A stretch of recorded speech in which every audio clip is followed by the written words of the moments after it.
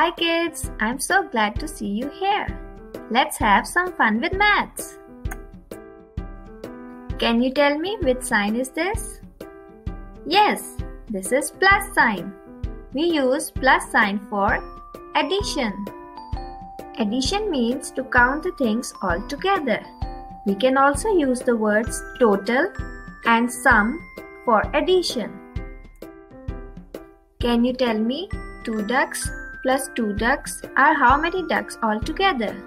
5, 2 or 4 ducks? Yes, 4 ducks. Now try this one. How many total gloves can you see? 5, 6 or 8? Correct, 5 gloves. Wow, who likes to eat cupcakes? Can you tell me 2 cupcakes plus 1 cupcake is equal to how many cupcakes? Yes, right. 3 cupcakes. We can write it like this. 2 plus 1 is equal to 3. Now let's use our fingers to find what is 3 plus 2. Take out your three fingers.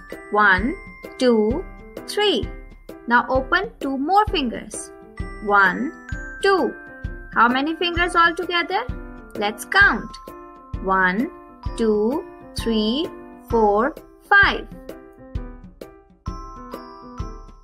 So 3 plus 2 is equal to 5. Thank you. Goodbye.